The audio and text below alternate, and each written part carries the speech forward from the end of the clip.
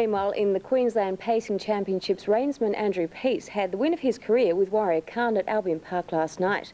Avenging his loss to Jack Morris in the Inter-Dominion in March, Warrior Khan gave Peace his first victory in a Grand Circuit event. But as the footage shows, there wasn't much in it and it's going to be a survival of the fittest. We own a Warrior on the inside, kicks back momentarily, but Warrior Khan will turn just in front.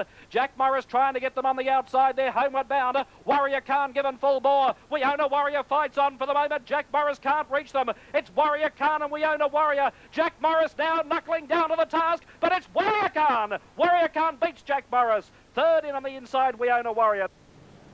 Half ahead.